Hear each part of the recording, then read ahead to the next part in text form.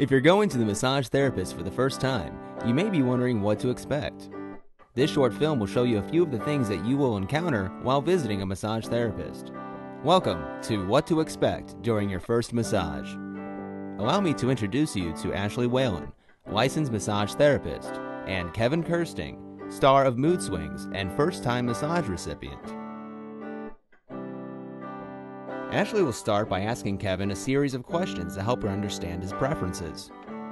Questions such as What areas of your body bother you? How much pressure should be used? What areas of the body should be avoided? Ashley now has all of the information she needs to perform the massage. Let's give Kevin a moment to get undressed.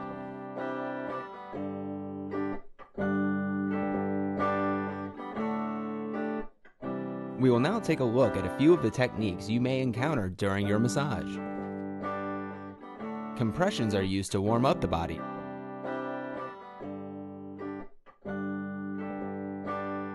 Effleurage is a Swedish technique which is characterized by long, soothing strokes.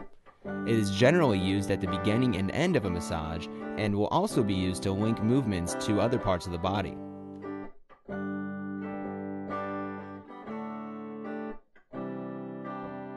Petrissage is another Swedish technique in which the underlying muscles are worked.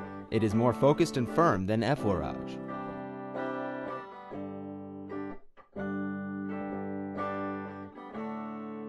Even more focused and firm, deep tissue techniques are used to target specific problems with underlying muscles. Here, Ashley is stripping Kevin's muscle fibers back into place.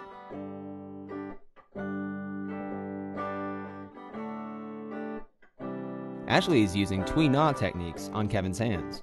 Tui Na is an ancient Chinese external treatment which has been in existence for over 2,000 years.